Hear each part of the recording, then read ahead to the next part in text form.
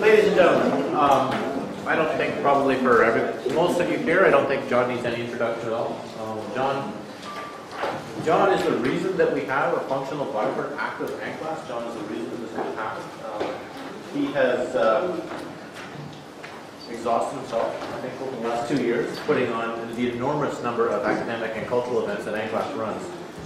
And in between all of this, in between running all of these events, and uh, also getting up the Bachelor of Latin American Studies degree and helping get in $60,000 worth of books on Latin America from the library, he's found time to do research. Oh, far more than that. So, um, building on, I on your, your teaching and your, your last book on some of your thinking, uh, John is now going to uh, take up the subject of Mexico. Um, so far from God and so close to. Thanks, Sean. Uh, when I uh, mentioned to someone yesterday that I was doing a talk about Mexico and its economic development and where it stands and shifting sands of global power and so on, and they said, well, of course, it's where it is. You know, a 3,200 kilometre border with the United States. And I think very often when you're talking about Mexico, what you get is the idea that this geography, its proximity to the United States, defines its future, just as it's in some ways defined so many elements of its past. And of course, this quote, uh, Te pobre Mexico, uh, ten leas de Dios, ten cerca de los Estados Unidos, comes from the former president of Mexico, Porfirio Diaz. And in lots of ways, I think, Diaz begins in the 19th century, and certainly in the 19th century, the United States' positioning in relation to Mexico is crucial for its future. In the mid-19th century, it loses half of its national territory to the United States. And arguably thereafter, in the revolution and so on, its proximity to the United States has been a, a key factor, a formative factor for Mexican politics. So I was gratified to hear Jim mention dependency theory earlier on. Uh, for those of us who grew up with it, and debates in or about or against it, uh, dependency theory, I think, had a lot to say about Mexico. Just as, in lots of ways, its theoretical opposite, modernization theory and post-war social sciences, had to say about Mexico. Because for modernization theorists, Mexico can be seen as an ideal candidate for modernisation, sharing such a porous border with the United States, sharing all sorts of cultural uh, transmissions across that border as well as economic exchange. It's an ideal candidate, you would think, for diffusion of modernity into a more traditional society and therefore to develop. For the Dependentistas, of course, Mexico was the archetypal periphery and almost uh, determined always to be a peripheral country, key candidate for the development of underdevelopment, if you like, because of its proximity to the United States. My uh, argument is that, in fact, in the 20th century, many of the positions that Mexico has found itself in in the world economy have, in large measure, in very large part, been due to the activity of the Mexican state itself and domestic questions, political questions, and balance of forces, if you like, inside Mexico have been at least as important, perhaps more important, than in determining where Mexico is today, than simply that fact of geography and uh, the influence of the United States. The more modern debate than modernisation and dependency since the 1970s has been a debate really between various forms of statist theories, neo-statist theories of development, and liberal, neoliberal uh, ideas about development.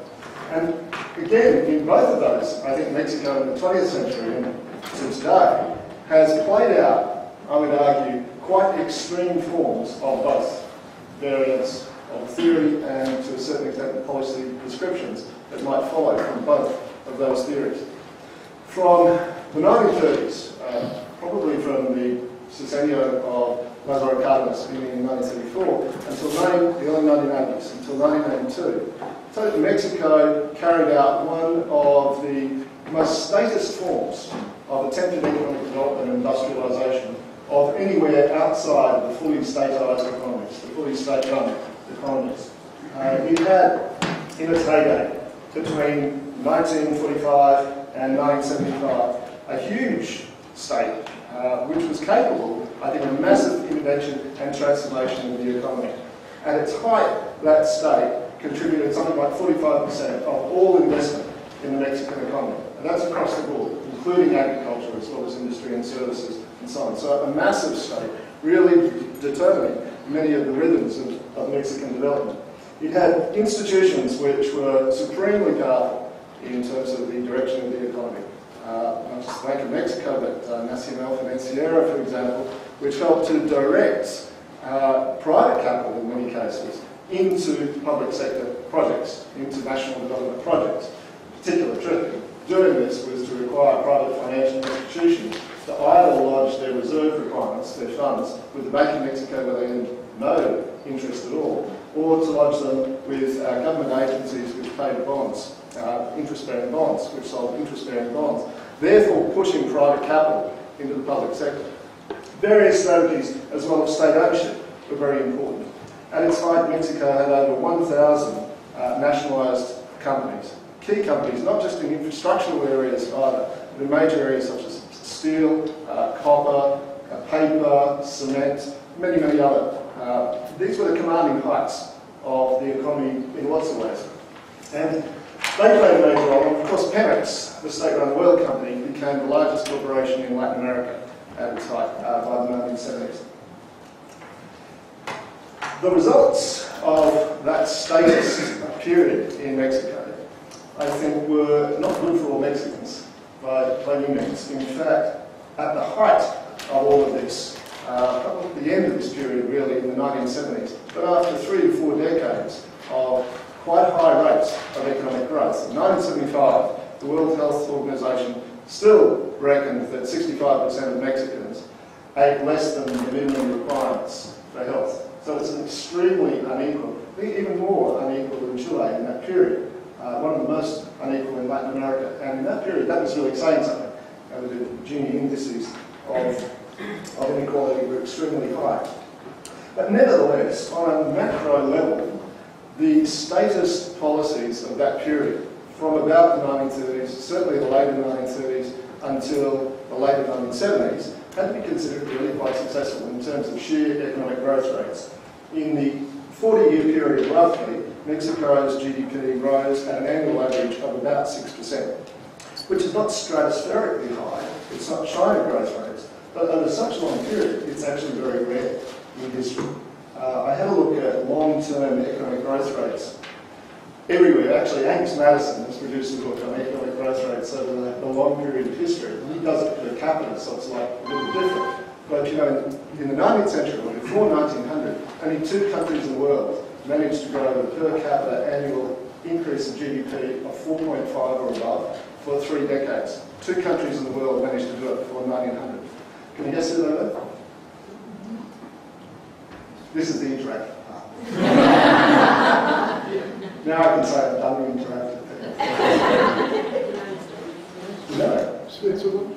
So, no. Uh, Australia and New Zealand.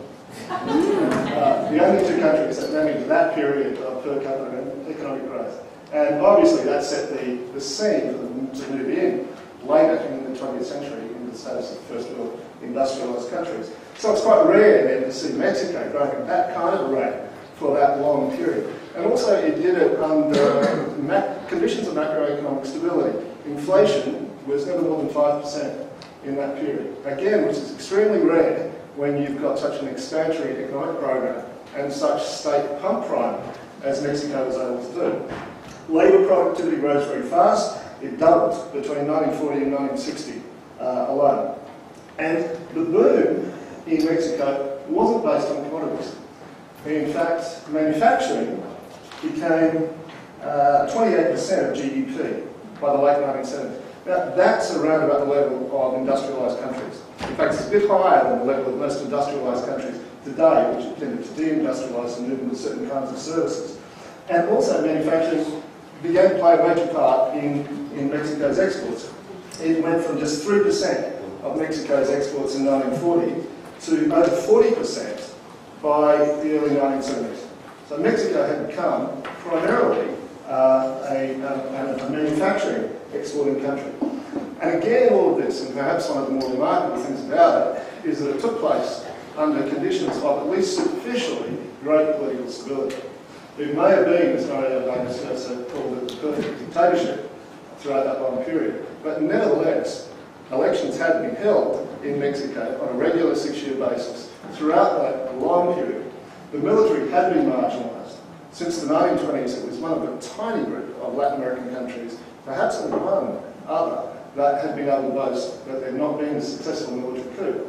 And Mexico, by the 1970s, was spending less on its military than any other country in Latin America as a proportion of GDP, except Costa Rica and Panama.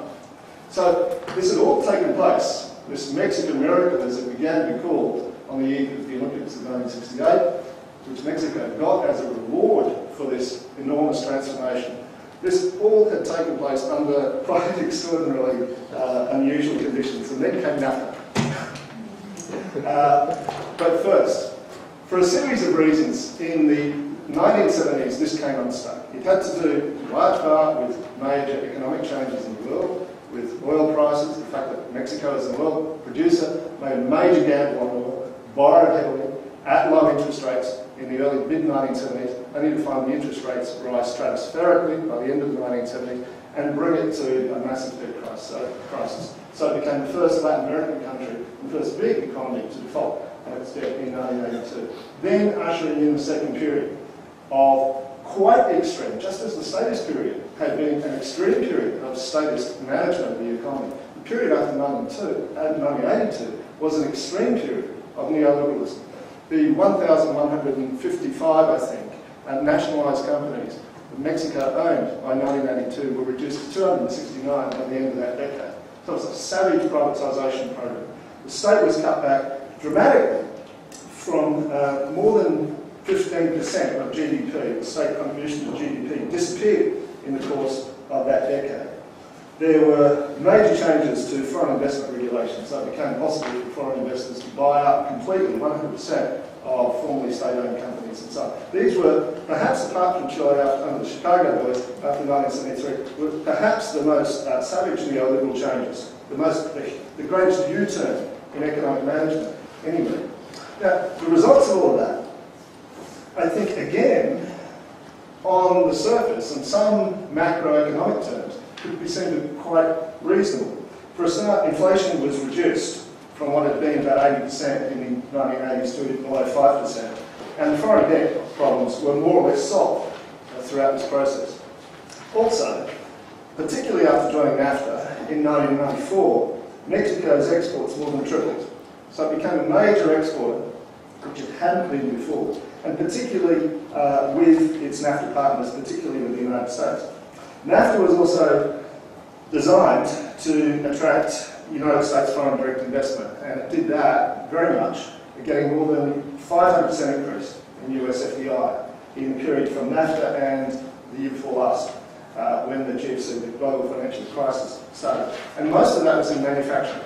So many of the aims of this major turn in the direction of neoliberal reform seem to have occurred. Also, productivity in manufacturing seemed to go up very considerably. In fact, there was an 80% increase in uh, the domestic manufacturing sector now, there are a number of assumptions which flow from those apparent successes, which orthodox economists would draw. First is that increased trade and increased foreign direct investment will lead to increased economic growth rates. Second is that a restructured economy will become a more efficient economy, that some areas will disappear, the inefficient ones will disappear, will be pain in the short term, but in the longer term, employment will increase as, as Mexico finds its areas of comparative advantage. Thirdly, but increased employment will lead to real wage rises and improved standards of living. And fourthly, the increased productivity in the foreign invested sectors of the economy, coming from all this increased foreign direct investment from the United States, would spill over into other sectors, particularly of manufacturing, to domestic manufacturing generally. And Mexico would be put on that mythical escalator up towards first world status. In fact, it's been extremely disappointing for a number of reasons. Annual per capita GDP since the early 1990s until the global financial crisis, per capita GDP averaged only 1.6%.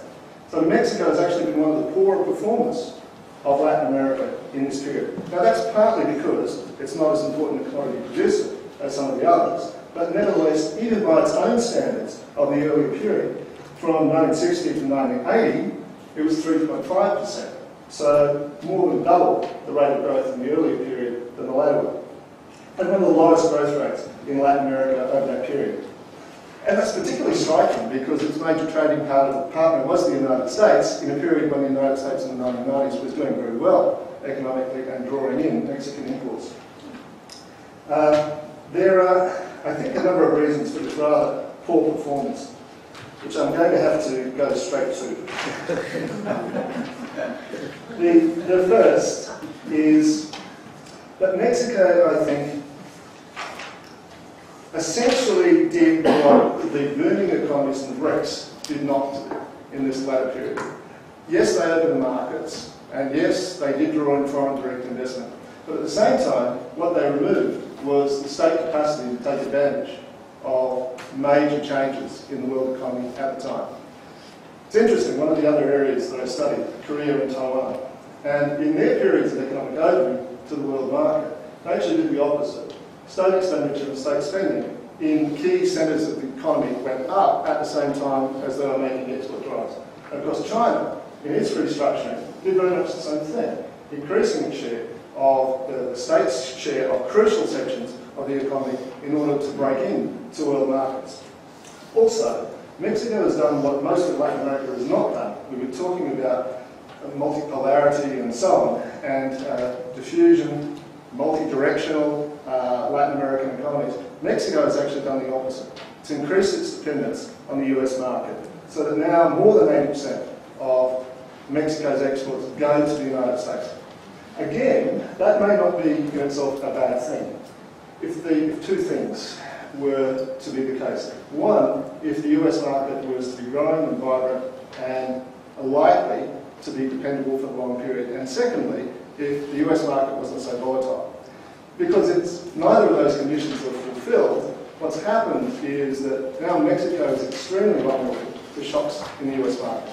And in the GFC, the Mexican economy performed the most poorly in Latin America, with a real decline in GDP nearly 6% uh, in 2009. It's recovered in 2010 to 5%, but once again looks very vulnerable. Finally, uh, if I could say just, just one last thing. Since NAFTA took effect, there have been changes. I think the, the golden age, I suppose, for regional trade agreements, as Andres was saying, was a period earlier this century, perhaps. Um, that was possibly true a little earlier for NAFTA. It was really after about 1995 that Mexico had the greatest opportunities in NAFTA. In this century, actually, Mexico's place in NAFTA is threatened by cheaper imports from elsewhere uh, by cheaper competitors from elsewhere. It has two advantages. One is proximity to the US market, and the other is relatively low wages. Yes, Mexico's wages are low relative to the United States, but they're not low relative to China. They're certainly not low relative to the Philippines, Vietnam, and so on. And what we're starting to see, I think, is competition from those even newer emerging areas, which may put the Mexican economic strategy under even more pressure.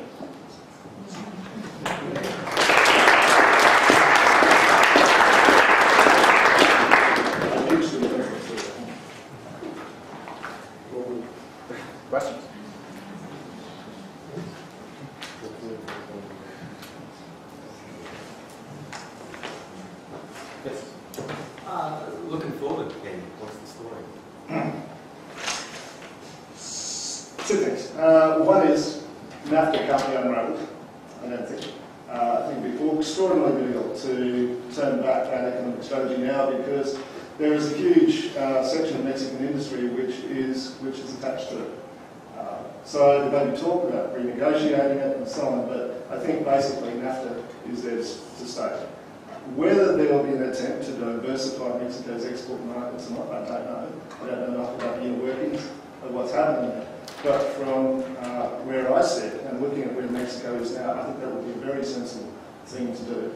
Uh, again, when you look at Australia and New Zealand in the 19th century, they're attached to the British Empire, so they're getting large stocks of British capital, they're getting uh, British institutions, but they're also almost entirely oriented to the British market. Problem is, the US market doesn't have the same predominance in the world that it once had. You get different figures, but some claim that in 1945 the US contributed 50% of world GDP across the board. Some say as low as 35%, but it's somewhere in there, between a third and a half. By 1980, it's around about a quarter, about 25%. And then there's a slower and more gentle decline over the last 30 years, but nevertheless a gentle decline. And in the context of uh, a declining share of world market, being competitive in the US market may become more and more difficult. So I think diversification is going to be crucial. The second thing is getting rid of effectively the major levers of state power to influence the economy that had existed in extreme forms in the early period, I think was a mistake. Uh, and no successful economy this century, really successful economy this century, which hasn't been based on purely commodity exports, has done that and, and, and, and, and burned. So I think some of those levers of control may have to be pulled back. Uh, for example, spending on basic infrastructure questions in Mexico is declining. Mexican state draws about 30% of its revenues from oil, from Pemex. And from taxes, it gets about half the OECD average. So it's relying quite heavily on Pemex. In fact, what it's doing is robbing Pemex the ability to reinvest. As a result, Mexico's oil reserves have dropped because oil reserves are dependent not just on what's down there, but how much money you spend trying to find what's down there.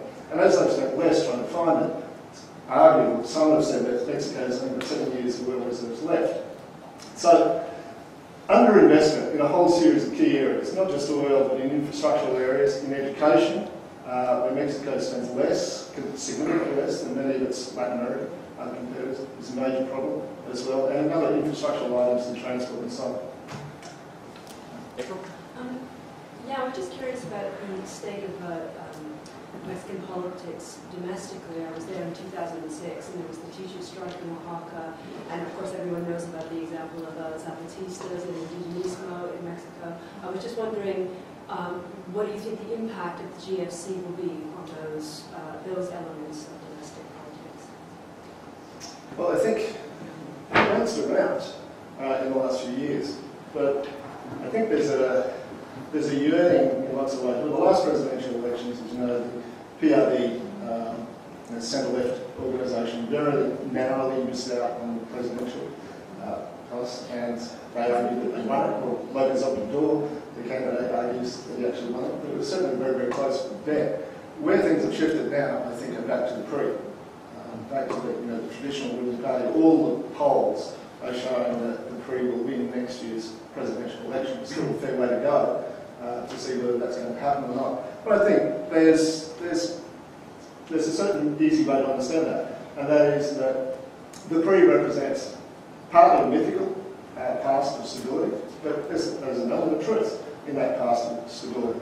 And with the shock of the GFC, and to a certain extent, the shock of the neoliberal reforms of the last nearly 30 years now that people have absorbed, people are looking back to that past. Ironically, even though PRI actually implemented most of it in the 1980s and the 1990s.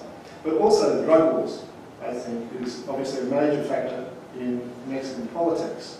Uh, and again, I think there's a, you know, there's a hankering for a strong, strong hand on the, on the tiller uh, to take it over and to take control of the situation, which know, the saying, not exactly saying how they're going to do it, uh, but nevertheless saying that they are going to do it.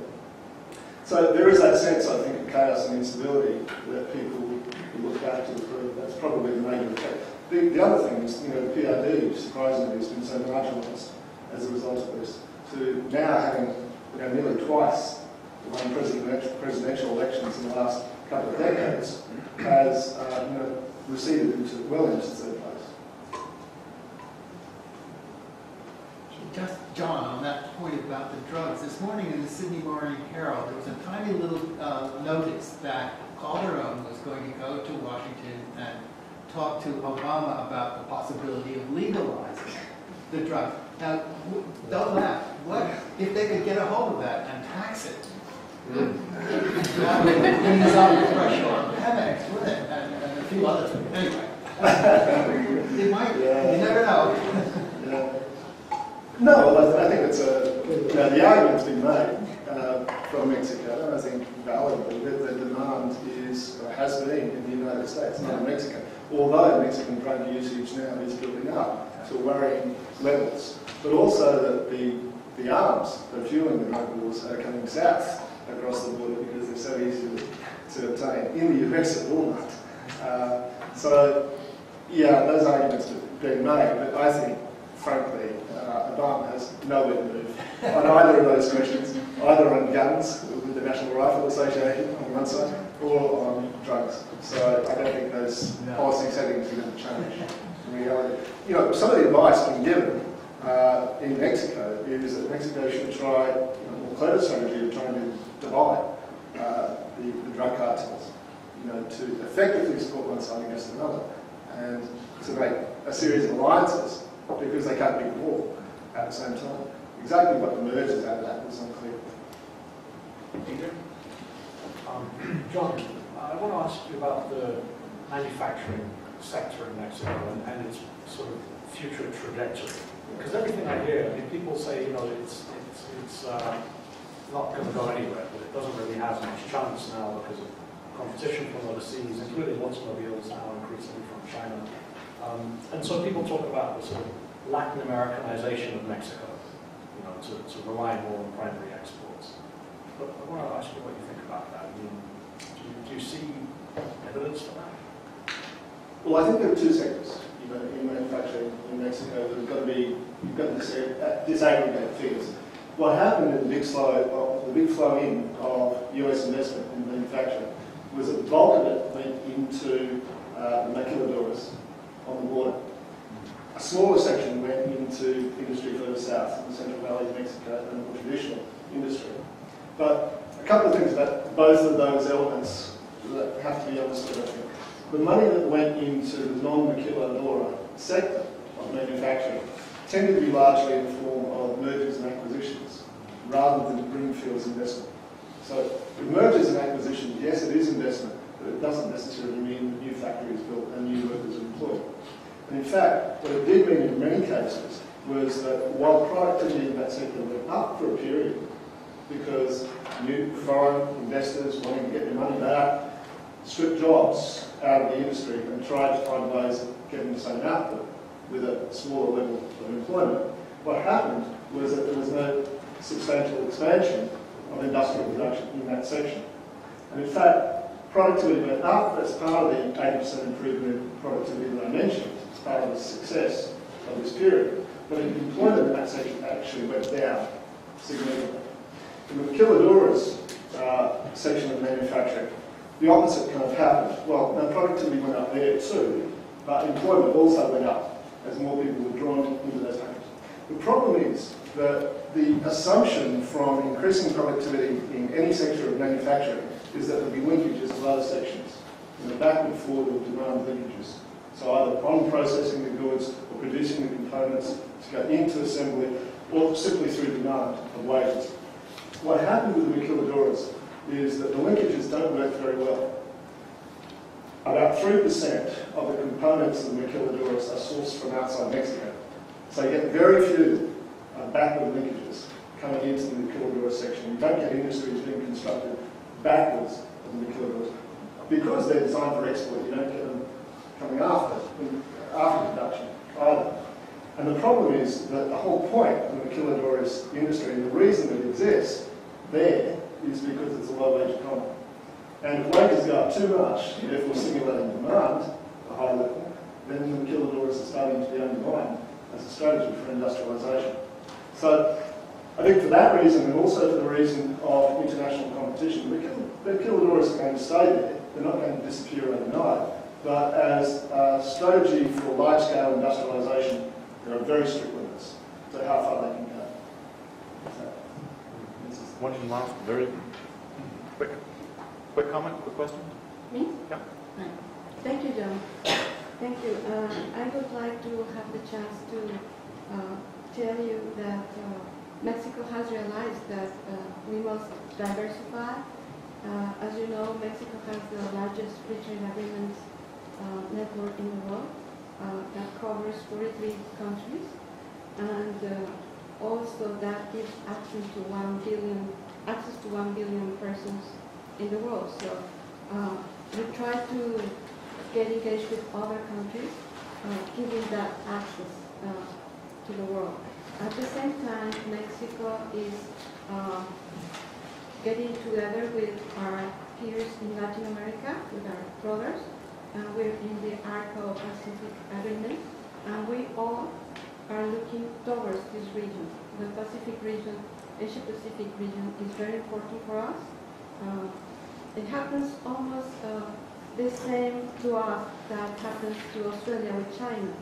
Uh, it- It's a very common, uh, uh, as we have 3,000 kilometers with the US, it was like very natural to have that uh, trade with them. But as you have said, there are many problems in the GFC and all this. So Mexico has realized that we have to see toward this region.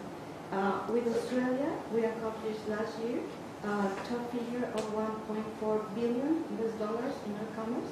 So it has get, gotten better because before of the GFC it was a little higher.